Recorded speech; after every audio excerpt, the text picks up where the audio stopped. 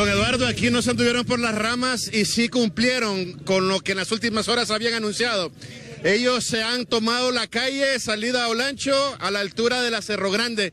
Cuatro unidades de transporte cruzadas. Aquí se encuentran también autoridades de la Policía Nacional pero ellos siguen con estas tomas y los más perjudicados obviamente son las personas que por aquí transitan, caballero. Lamentablemente usted quedó como el primer vehículo que lo detuvieron. ¿A qué hora ocurrió esto? Eh, siete y media por ahí. Terrible, no puede llegar a su trabajo, veo que está con tableta en mano, me imagino que ya dijo a su jefe que no iba a llegar hoy. Ya nos reportamos que estamos aquí en la toma y aquí trabajando en el carro.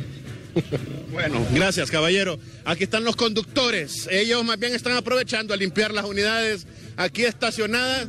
Ustedes sí cumplieron, caballero, muy buenas, sí cumplieron con la toma de calles, exigiendo estos tres lempiras, exigiendo se les dé este bono compensatorio. ¿Hasta qué hora? Solo quiero saber, ¿hasta qué hora van a estar aquí? No, ahí no sé, ahí los dueños son los que saben. Solo cumplen órdenes de, sus, de sus jefes. ¿Hasta qué hora más o menos van a estar? No, ni idea, ni idea. Solo cumpliendo órdenes porque los dueños son los que, los que ellos mandan. ¿Qué les dijeron? No, que los paráramos a las 8 de la mañana. Y, eh, entonces nosotros, y salimos, tenemos problemas. Porque dependemos de, del, del dueño, pues. Así es.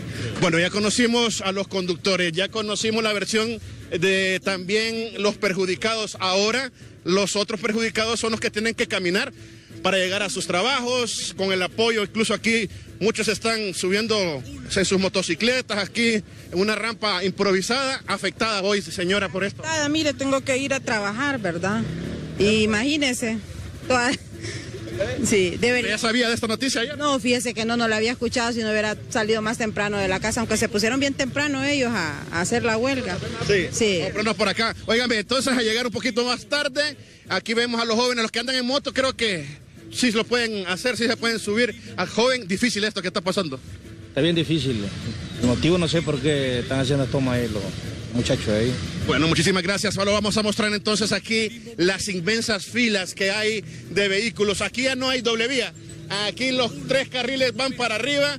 Se han tenido que detener. No hay tránsito ya de vehículos libres a esta hora. No saben hasta qué hora van a estar tomada esta carretera, compañeros. Una de las principales arterias que conecta el oriente de Honduras con eh, la capital de la República. Las imágenes son de Darwin Rodas y el apoyo logístico de Marlon Barahona. Más adelante más contactos, puntos y caos vehicular por las tomas de transportistas. Buenos días.